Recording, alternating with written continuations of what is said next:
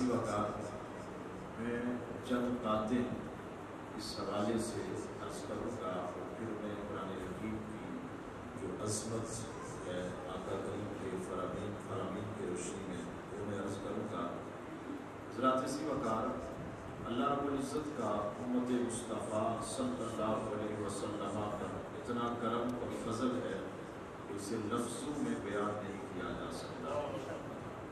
ख़ास करके लैलतुल कदर के हवाले से मैं अर्ज़ करूँगा कि ये इतना बड़ा कर्म है, इसको भी हम लफ्ज़ों में बयान नहीं कर सकते। ने लैलतुल कदर की बहुत सारी वजूहत नकल फरमाई हैं। मैं इमाम कुरतबी के यहाँ जो अकवाल हैं, उनमें से एक कौल आपकी समाजों की नज़र करूँगा। इमाम कुरतबी ने लैलतुल कदर की जो अता है इस पर एक बड़ा खूबसूरत वाक़ नकल फरमाया। इमाम कुरतबी कहते हैं कि अल्लाह रब्बुल इज़्ज़त ने एक पैगंबर को, जो सबका अदवार में गुजरे हैं, हुक्म इरशाद फरमाया, कुल्ली फलाइन मा यतमन्ना कि फला इलाके में एक बंदा रहता है, आप जाके उससे पूछे, वो बंदा चाहता क्या है? ये पैगंबर को खिताब होता है कि फला इलाके में एक बंदा रहता है, आम बंदा है, उससे पूछें कि वो बंदा चाहता क्या है, उसकी मर्ज़ी क्या है, उसका मंशा क्या है। ये रब ने पैगंबर को खिताब फरमाया। अगर आप मुनासिब समझते तो थोड़े थोड़े करीब आ जाए। जो एक कदम उठाए, अल्लाह उसको कदम पे लेके आता फरमाए। करीब करीब आ जाए। हम इख्तसार के साथ इंशाल्लाह गुफ्तगू खत्म कर देंगे। हज़रत इसी वक़्त तो अब ये भी एक बड़े नाज का मकाम है कि अल्लाह पैगंबर को किसी बंदे की तरफ़ भेजे कि जाके उससे पूछे कि रब क्या रहा है कि आप चाहते क्या अब वो पैगंबर उस बंदे के पास आते हैं, जब तशरीफ़ लाते हैं तो पैगंबर कहते हैं, रब कहता है कि तू चाहता क्या है? बंदा इमाम कुर्तबी कहते कितने कमाल वाला बंदा था उसने दुनिया नहीं मांगी तख्त शाही नहीं मांगा मान लो जर नहीं मांगा, कुछ भी नहीं मांगा। उसने क्या कहा? वो कहता, अतमन्ना अन तुजाहिदा फ़ी माली व वलदी व नफ्सी। मेरा दिल ये है, अल्लाह माल अता करे, अल्लाह जान दे, अल्लाह औलाद दे। माल के साथ, जान के साथ, औलाद के साथ मैं रब के नाम पे जिहाद करना चाहता हूँ। रब ने मांगा, चाहता क्या है? मांग सकता था मालूम सब मांग सकता था दुनिया, मांग सकता था तख्त शाही, लेकिन मांगा क्या? कहा, रब माल दे, रब औलाद दे, रब जान दे। मैं रब के नाम पे जिहाद करना चाहता हूँ। इमाम कुर्तबी कहते हैं, करीम से मांगा था, उसने करम कितना किया। इमाम लिखते हैं रजा का अल्लाह ने उस बंदे को हज़ार बेटे अता फरमाए करीम से मांगा था। अल्लाह ने हज़ार बेटे अता फरमाए अब उसने दिया गया बेटे जब जवान हुए तो एक बेटे को तैयार करता, लश्कर साथ भेजता, उसका बेटा दिन को रोजा रखता, रात को हालत कयाम में होता, रब की किताब पढ़ता और पूरा दिन हालत रोजा में जिहाद करता रहता। जब महीना गुजरा, उसका एक बेटा शहीद हो गया। लेकिन उस बंदे कलंदर का हौसला क्या था? उसने दूसरे बेटे को तैयार कर दिया। लश्कर जर्रार में जा नसीहत की दिन को रोजा रखना नसीहत की दिन को रोजा रखना है। रात को खड़े होके रब की किताब पढ़नी है, उसके बाद जिहाद करना। बेटा जिहाद करता, महीना गुजरा, उस बेटे की भी शहादत हो जाती है। उसने तीसरा भेजा उसने चौथा भेजा, उसने पांचवा भेजा, उसने छठा भेजा। हत्ता के हज़ार महीनों में, उसके हज़ार बेटे रब के नाम के शहीद हो जाते हैं। हज़ारों बेटे ऐसे थे जो दिन को रोजा रखते, रात को खड़े होकर क्याम करते रब की इबादत और रियासत करते अब कमाल ये था, उस बंदे ने हौसला फिर भी ना हारा। अल्लाह ने कर्म कचरा किया, खुद लश्कर तैयार किया, रब के नाम पे खुद जिहाद पे निकल गया। महीने के बाद उसकी शहादत हो जाती हज़रत इसी वक्त मजलिस मुस्तफ़ा में उस शख्स का तस्करा हुआ। इतना बड़ा इबादत गुजार। इतनी बदतमीयों वाला इतनी तलावतों वाला मैं आपको सिर्फ़ ये बताना चाहता हूँ, अल्लाह ने कर्म हम पर कितना किया है। लफ्जों में बयान नहीं होता है। हम तस्वर नहीं कर सकते। एजाज कैसे कैसे मिले? अब हज़रत इसी वकार इमाम कुर्तबी कहते हैं मजलिस मुस्तफ़ा में तस्करा हुआ। सहाबा कहने लगे यार सुना इतने इबादत गुजार इतनी बंदगियों वाले, इतनी तलावतों वाले, भरोसे कयामत उनकी इबादतें रखी जाएँगी। और कहा उनकी उम्रें कहा हमारी उम्रें कहा उनकी इबादतें, कहा हमारी इबादतें? जब रहमत कायनात की बारगाह में यह सवाल होता, आका बैठे ही थे, रब ने जिब्राइल को हुक्म दिया कहा जिब्राइल इसकी तरह से जा और जाके महबूब को कह दे। क्या कह दे? इन्ना अनज़लनाहु फ़ी लैलतिल क़द्र।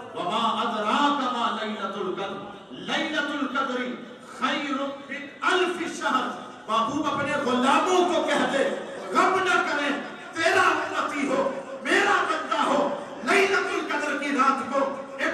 करने खड़ा हो जाए, वो इबादत एक रात को करेगा।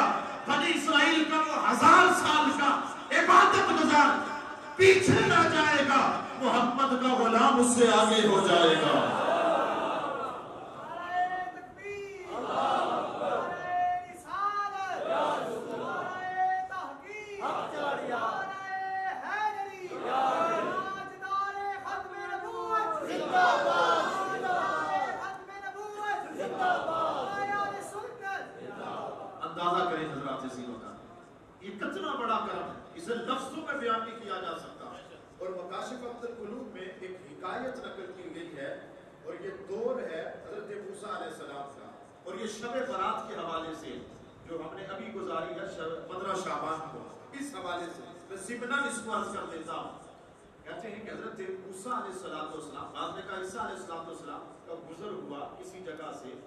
अचानक एक पत्थर फटा और आपने देखा एक बुज़ुर्ग सफ़ेद दाढ़ी वाले रब की इबादत कर रहे हैं और साथ अंगूर भी है सलाम फेरा अंगूर का एक खोशा लिया और अंगूर खाना शुरू कर दिया हैरान हुए हमारे ताला पत्थर के अंदर मखलूक बसती है। ये कैसे हो सकता है?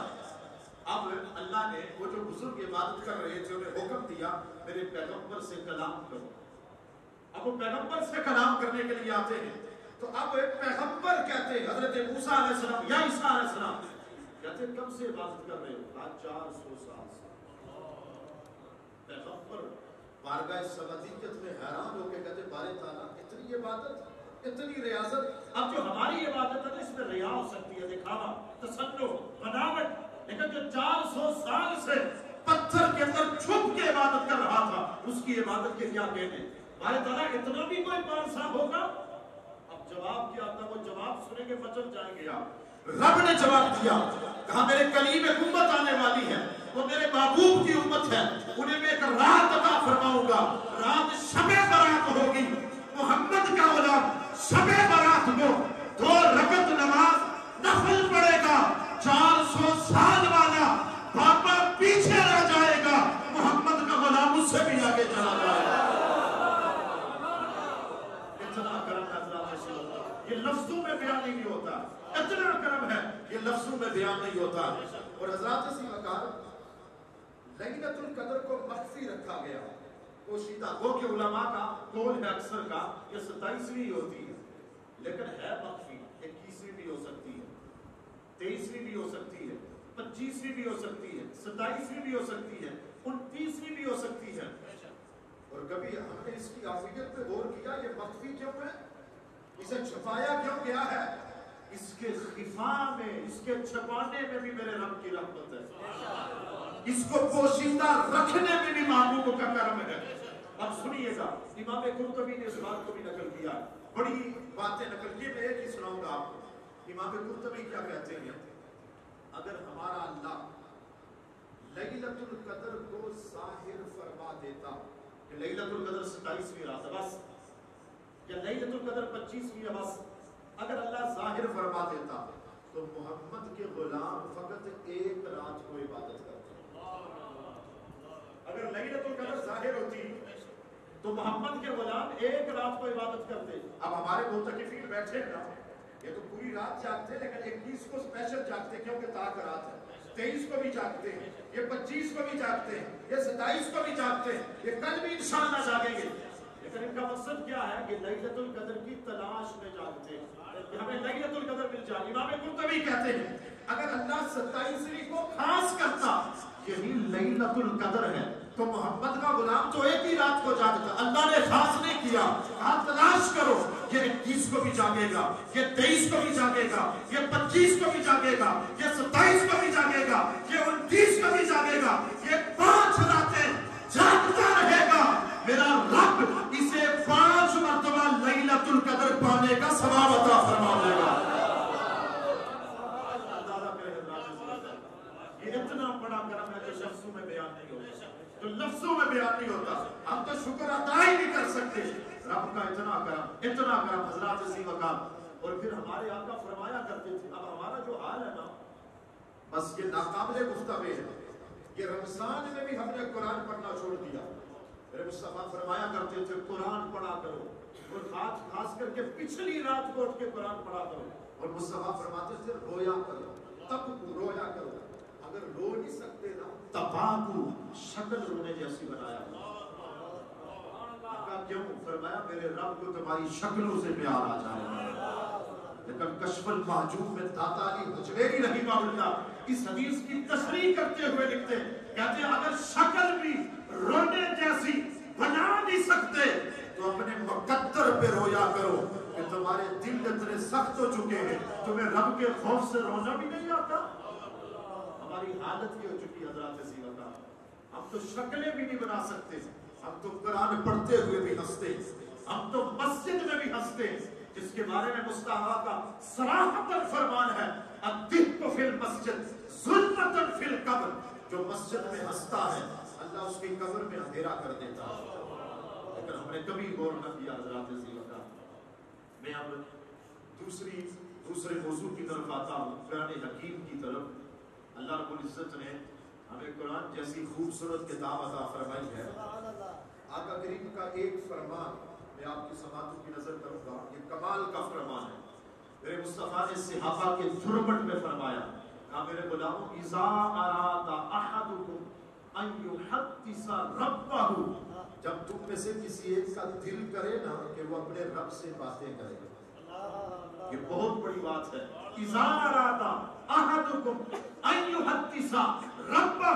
जब तुम में से किसी एक का दिल करे कि वो अपने रब से बातें करे कुरान कुरान खोल के पढ़ो, यूँ समझो कि तुम अपने रब से बातें कर रहे हो। ये मौका है रब से बातें करने का। एक बुज़ुर्ग थे तो खलबत पसंद थे, तन्हाई में रहते थे। अब उनका कोई रिश्तेदार मिलने आया तो उन्हें बताया गया कि वो तो खलबत में जंगल में रहते जंगल बयाबा में। तो वो उस वहाँ जंगल में चला गया। और कहता हज़रत आपको वहशत नहीं होती अकेले रहते हैं। कोई बात करने वाला नहीं आपसे। बंदा अकेला तो वहशत अजनबीयत राहत महसूस करता है। आप कैसे अकेले रहते हैं? तो बुज़ुर्गों ने बड़ा खूबसूरत जुमला बोला। वो कहते मैं तो कभी अकेला हुआ ही नहीं। कहा क्या मतलब? आप तो अकेले यहाँ तो कोई बंदा नज़र नहीं आता। कहा नहीं हुआ अकेला। कहा क्या कहना चाहते हैं? कहा जब मेरा दिल करता है ना मैं उसकी सुनू। तो मैं कुरान खोल के पढ़ना शुरू कर देता हूँ। और जब दिल करता हूँ अपनी सुनाऊं तो मैं हाथ बाँध के नमाज़ पढ़ना शुरू कर देता हूँ।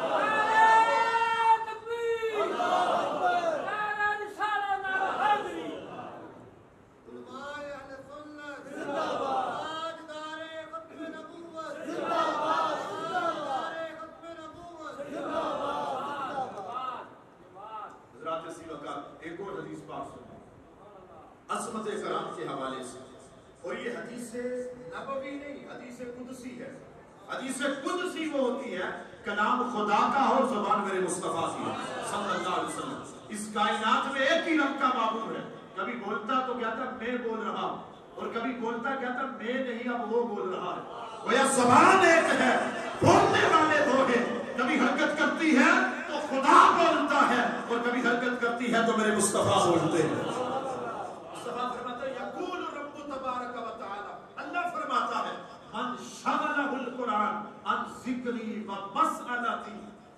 अगर किसी तेरे गुलामों को कुरान ने ज़िक्र और सवाल करने से मसरूफ कर दिया। मैं आसान अल्फाज में करता। हूँ कहा महबूब अगर कोई गुलाम तेरा था और वो कुरान इतना पढ़ता रहा, इतना पढ़ता रहा कि उसे ज़िक्र करने का या मुझसे दुआ मांगने का टाइम ही नहीं मिला। इतना कुरान पढ़ता रहा। बाबू उसे कहते, गम न करे कहा क्या आतई तू माँ आतसायली कहा जितना दुआ मांगने वालों को मैं अता करूँगा, उससे ज़्यादा कुरान पढ़ने वालों को अता फरमा दूँगा। और इसी के आखिर में का फरमान सुने। एक तो ये तबका का, बेअदब टोला। आप जाते हैं, अल्लाह आपको नसीब फरमाए बैतुल्लाह शरीफ मस्जिद नबवी में भी क्या माहौल होता है? पाक को तकियों के नीचे नाउजुबिल्लाह रखा होता है। और गुजर रहे होते हैं ऊपर पाक से गुजर रहे और क्या है? जैसे और किताबें इस तरह कुरान भी तो एक किताब है। लेकिन रहमत कायनात का फरमान सुनना। कुरान आम किताब नहीं। मुस्तफ़ा करीम सल्लल्लाहु अलैहि वसल्लम फरमाते फदलु कलामिल्लाहि अला साइरिल कलाम का फदलिल खालिक अलल मखलूक। कहा, कुरान की फजीलत बाकी किताबों पर इस तरह है, जिस तरह रब की फजीलत सारी मखलूक पे होती है। रब की फजीलत कितनी है बंदों पे आप सोच सकते हैं। आका फरमाते हैं इतनी फजीलत कुरान की बाकी किताबों पर है। अब इससे आगे चले। तो जो शख्स कुरान अपने सीने में रखता है इसे हाफिज कुरान कहते हैं। इसका मर्तबा मकाम क्या है? कभी हमने ये सोचा? हम तो ये कहते हैं ना कि बिल्कुल जो माशरे का निचला तबका है वो उफास का होता है। जिन्हें ज़िंदगी के आदाब का नहीं पता जिन्हें हुसन माशरत का नहीं पता जो सियासियात से नाशना है हज़रत इसी वकार लेकिन हाफिज का मकाम क्या है? ये सुनना हाफिज का मकाम क्या है? हमारे यहाँ अगर नाथ खान को यहाँ जाए ना नाथ खान जो बादशाह हो और हमारे अकायद और नजरियात के मुताबिक नाथ पढ़ता है उसकी ताजीम ज़रूरी है करनी चाहिए। लेकिन मैं कहना चाहता हूँ नाथ खान किसका कलाम पढ़ता है? हसन रजा का पढ़ेगा ना? अहमद रजा का पढ़ेगा ना? पीर बेर अली शाह का पढ़ेगा ना? लेकिन हाफिज साहब ने जो आपको 28 दिन नात सुनाई है, ये नात मुस्तफ़ा की है, लेकिन कलाम मेरे रब का है। नात खान से हाफिज का तो मुकाबला हो ही नहीं सकता। इनका रुतबा, इनका मकाम इतना आला है। हज़रत सी मकान, हमारे आका ममूला सल्लल्लाहु अलैहि वसल्लम का फरमान सुनना। आका करीम का फरमाते हैं? आका फरमाते हैं, फदलु हामिल कुरान अलल्लजी लम यहमलहु। ये मुस्तफ़ा के अल्फाज हैं। कहा हाफिज कुरान की फजीलत उस बंदे पे जिसने कुरान को हिफज नहीं किया। आका फरमाते का फदलिल खालिक अलल मखलूक। इस तरह है जिस तरह खालिक की फजीलत मखलूक में होती है। अंदाज़ा करें अल्लाह की सीरत जिस तरह खालिक की फजीलत मखलूक पे होती है इसी तरह हाफिज की फजीलत गैर हाफिज पे होती है। कायनात का फरमान और एक और फरमान सुनिए। आका फरमाते सल्लल्लाहु अलैहि वसल्लम मेरे मुस्तफ़ा फरमाते हैं कि हामिलुल कुरान, हामिलुर रायतुल इस्लाम। का जो कुरान का हाफिज होता है वो इस्लाम के झंडे का हाफिज होता। है हम तो कहते हैं बोलियों का क्या ताल्लुक सियासत से? लेकिन ये मुस्तफ़ा के अल्फाज है। आका क्या फरमाते हैं? आका फरमाते हैं, हामिलुल कुरान, हामिलुर रायतुल इस्लाम। कि जो कुरान का हाफिज है, वो इस्लाम के झंडे का मुहाफिज है। आका फरमाते वमन अकरमहा वमन अकरमहु फकद अकरम अल्लाह जिसने कुरान की इज़्ज़त की, वो यूँ समझे उसने रहमान की इज़्ज़त की। इतना मुकाम है हाफिज कुरान का। अगले अल्फाज सुनना। मेरे फरमाते कभी कभी हो जाता है। हाफिज कुरान भी इंसान है ना, इससे गलती हो जाती है। लेकिन हमारा माशरा पीछे पड़ जाता है। तान तशरीह का निशाना, बरसरे मजलिस रुसवा करना, मस्जिद के इमाम इनसे गलती हो गई तो फिर भी पीछे पड़ जाना। ऐसा नहीं करना। ये फरमान सुने आका करीम सल्लल्लाहु अलैहि वसल्लम। मेरे मुस्तफ़ा फरमाते हैं, वमन अहानहु जिसने हाफिज कुरान की तौहीन की। ये आका करीम के अल्फाज हैं।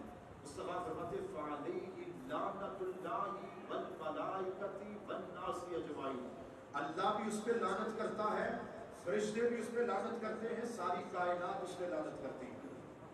अंदाज़ा करें का जो हाफिज कुरान की तौहीन करता है, दुआ करें, अल्लाह हमें सही मानों में हुफाज का आदत करने की कोशिश करे अब इससे अगला मरहला। ये तो दुनिया में एजाज था। अब जब हाफिज कुरान का इंतकाल होता है, उसका मरना आम बंदे के मरने की तरह नहीं है। वहाँ भी अल्लाह एजाज अदा फरमाता है। वहाँ एजाज क्या होता है? आका फरमाते हैं, इजा माता हामिलुल कुरान औ हल्लाहु इलल अर्द, अल्लाह तकुली लहमहु। जब हाफिज कुरान मरता है, अल्लाह ज़मीन को वही फरमाता है। खबरदार इसके जिस्म को नहीं खाना इसके जिस्म को नहीं खाना है। यहाँ तो लोग कहते हैं नौजुबिल्ला नबी मर के मिट्टी में मिलेंगे। मिन जालिक। और नादानो जिसके सीने में कुरान हो, मट्टी उसके जिस्म को नहीं खाती, जिसके कल्बे अतहर पे कुरान उतरा है, उस मोहम्मद के जिस्म को मट्टी कैसे खा सकती है?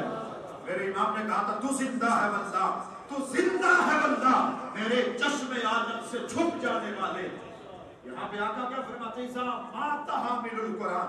जब हाफिज कुरान करता है आओ हत्ता अल्लाह ज़मीन को वही फरमाता है अल्लाह ताकुली लहमहु। का हाफिज कुरान का जिस्म ना खाना अब ज़मीन भी जानती है कि हाफिज कुरान का मकाम क्या है। बंदे भी जानते हैं, ज़मीन जानती है। अब ज़मीन क्या कहती है? कालम कैफा आकुल लहमहु, फइन्नका नामका फ़ी जौफिही। ज़मीन कहती है बारे ताला मैं इसका जिस्म कैसे खा सकती हूँ? हालाँकि इसके सीने में मोहम्मद में नाजिल होने वाली किताब मौजूद है। ये मकाम हज़रत इसी वकार हाफिज कुरान का। कुरान हकीम का बहुत मकाम है। मैं एक कुरान पाक की जो आयत है, और मशहूर आयत है, जिसे हम आयतुल कुर्सी कहते हैं, उसकी फजीलत मैं एक हदीस पाक बयान करूँगा, और फिर मैं इख्तिताम की तरफ़ जाऊँगा। लेकिन ये कमाल की हदीस पाक है। आप सुनेंगे तो लुत्फ आएगा। कदरें लंबी है, लेकिन बड़ी लुत्फ वाली हदीस पाक है। हज़रत सैयद अबू हुरैरा कहते हैं, हज़रत अबू हुरैरा ये बुखारी शरीफ में है कि वक्कलनी रसूलुल्लाह सल्लल्लाहु अलैहि वसल्लम की ज़कात रमज़ान। आका करीम ने मुझे रमज़ान में जो माल आया था, उसकी हिफाजत के लिए मामूल फरमाया। जब हिफाजत के लिए मामूल फरमाया, कहते मैं हिफाजत कर रहा था। ये एक एक लफ्ज काबिल तवज्जो है। कहते मैं हिफाजत कर रहा था फअतानी याती एक बंदा आ गया, यहसु मिनत ताम। वो जो माल पड़ा हुआ था तो उसने वहाँ से चोरी करना शुरू कर दिया। अबू हुरैरा कह रहे हैं, ये चोर बड़े पुराने सहाबा के दौर में भी थे। कहा, चोरी करना शुरू कर दी? अबू हुरैरा कहते फाखस तो मैंने उसका हाथ पकड़ लिया। फकुल तो मैंने कहा अरफातना कैला रसूलुल्लाह, तुझे मुस्तफ़ा सी बारगाह में लेके जाऊँगा। सल्लल्लाहु अलैहि वसल्लम। उसने आगे से कहा, या अबा हुरैरा, ए अबू हुरैरा, मुझे छोड़ दे। मैंने कहा, क्यों? वो कहता है कि मेरे छोटे छोटे बच्चे हैं, मैं शदीदुल हाजत हूँ, मैं कसीरुल अयाल हूँ, मुझे छोड़ दे। अबू हुरैरा कहते हैं फरहिम तू मुझे रहम आया फखल गई तू मैंने उसे छोड़ दिया। अब सुनिएगा अबू हुरैरा सुबह को बारगाह मुस्तफ़ा में पहुँचे। रात वाले मामले की मुलाकात नहीं हुई, लेकिन आका करीम का इल्म गैब देखा। कि वो अपने गुलामों के अखबार से कैसे बाखबर है।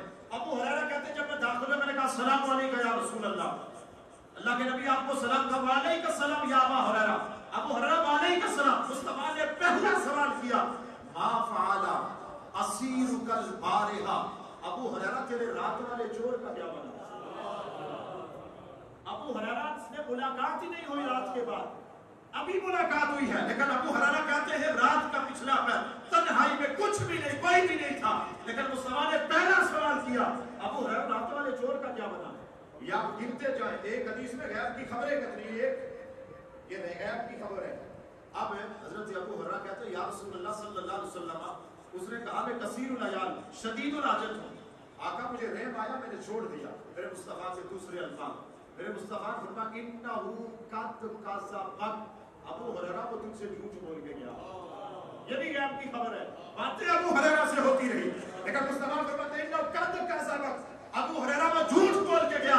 तीसरी गैब की खबर, अबू हुरैरा इंतज़ार करना, मसयऊदु वो रात वाला चोर लौट के फिर आएगा। ये मुस्तकबिल की खबर है। जो कुछ हो चुका जो होगा, हुजूर जानते हैं। कहाँ है अर्शे मानना? हुजूर जानते हैं। हाजिर और नाजिर, नूरा बसरो गैब का छोड़। शुक्र करो नादाम तेरे ऐब छुपाए हुए हैं। अब ये मुस्तफ़ा का सिहाबी था। सिहाबी था भाभी नहीं था, सिहाबी था। और कितने कमाल का सिहाबी था। अबू हुरैरा कहते हैं मैं रात को गया ना फरसतु मैं इंतज़ार कर रहा था। अबू हुरैरा माल का निगहबान है। लेकिन कह रहे मैं इंतज़ार कर रहा था। अबू हुरैरा क्यों?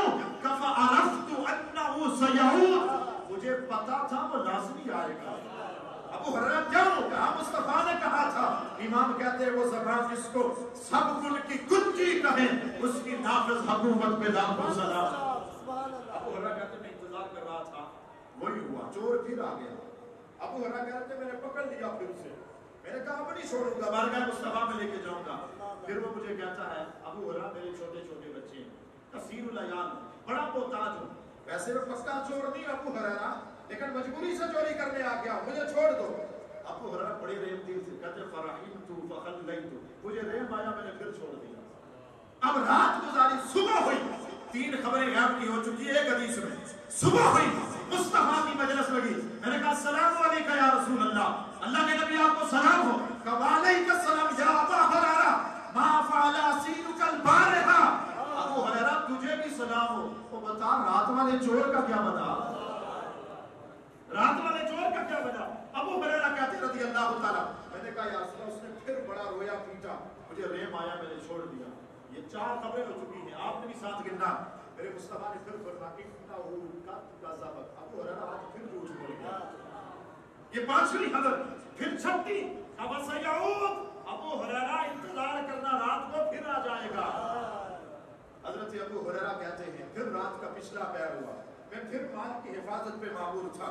अबू हुरैरा कहते हैं, फिर वो आ गया फिर आया, यकसू मिनत ताम। और ताम से क्या थी? मुट्ठी भरी मैंने फिर हाथ पकड़ लिया। मैंने कहा, तीन दफ़ा हो चुका, अब नहीं छोड़ूँगा।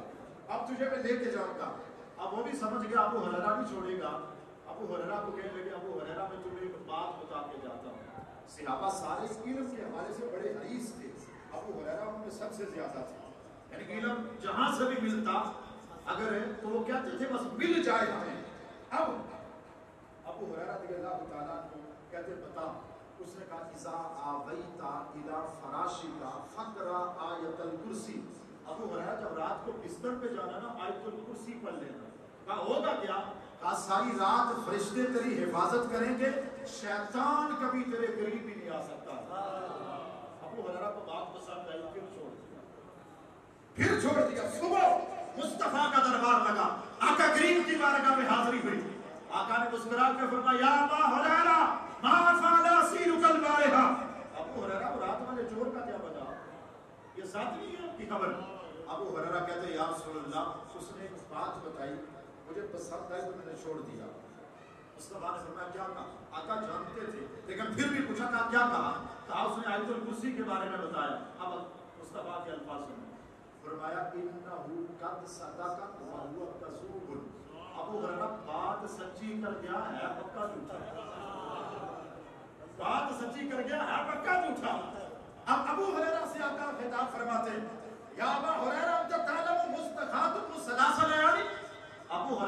जानता है तीन दिनों से तेरा मुखातब था? हमारे हमें उस्ताद फरमाया करते थे, पता चला कभी कभी शैतान भी फजीलत बयान करके चला जाता है। और कभी कभी शैतान भी दरसे कुरान दे के चला जाता है।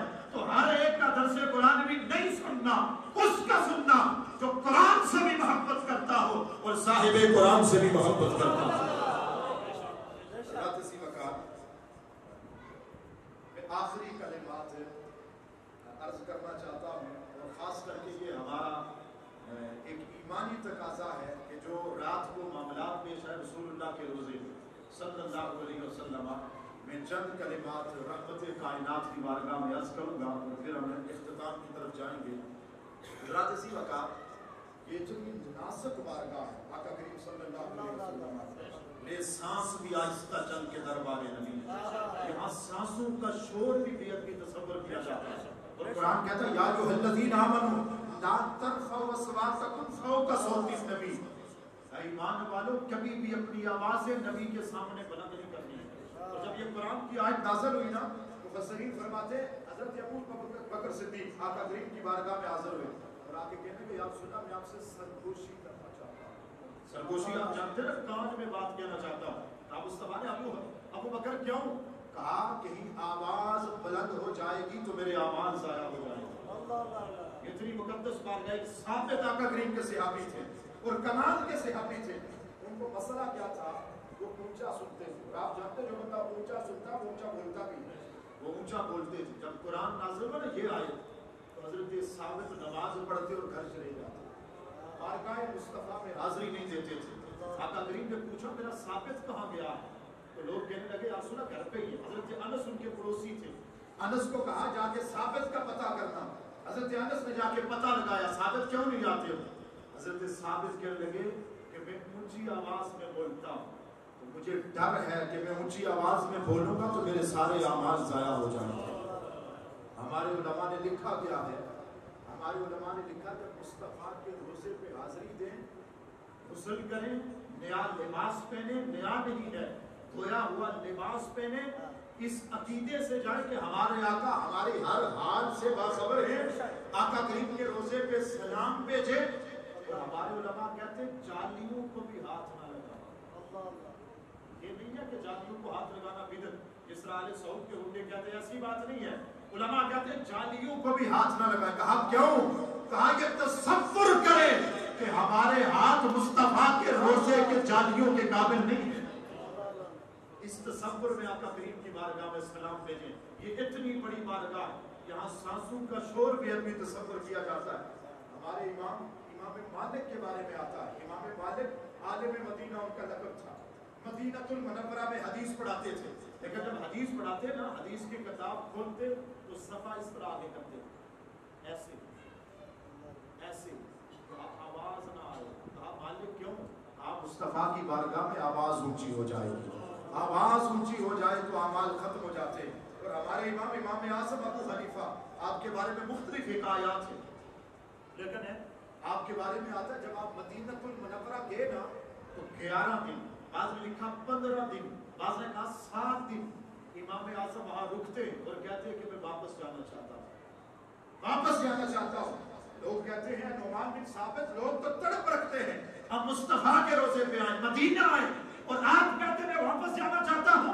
वजह क्या है? इमाम आज़म अबू हनीफा के इश्क पे, अदब पे कुर्बान जाए।